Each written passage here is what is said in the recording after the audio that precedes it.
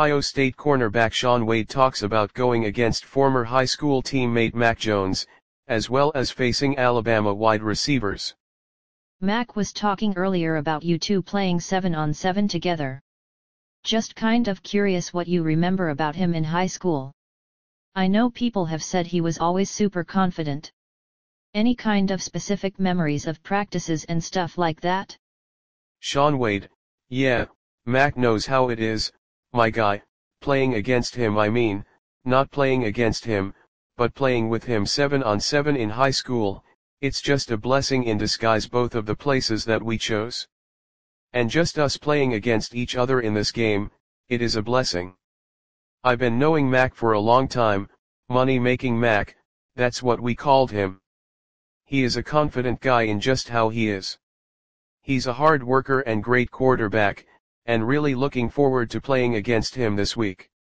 I'm curious what you've seen of Alabama's John Metchie on film and what challenges will he present to you guys in the Ohio State defense.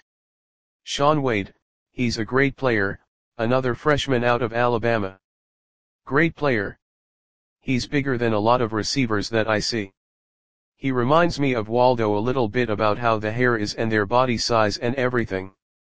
But he's a great player, very quick step, fast, will block, so you've got to get off blocks with him. He's a great player and he's going to have a good future for him, too. Every cornerback measures himself by what they can do one on one. Out of all those players at Alabama, who do you want? Who do you want a chance to go up against? Shaun Wade, you already know who I want to go up against at the end of the day. But at the end of the day we're just focused on this win and the way of getting the win. At the end of the day, what Coach Coombs says every day is we've got to win by one point to get the national championship. That's the obstacle. At the end of the day we've got to put the best on the best and just go from there, play different things, and just go from there. Thanks for watching this video please do subscribe All Media New York.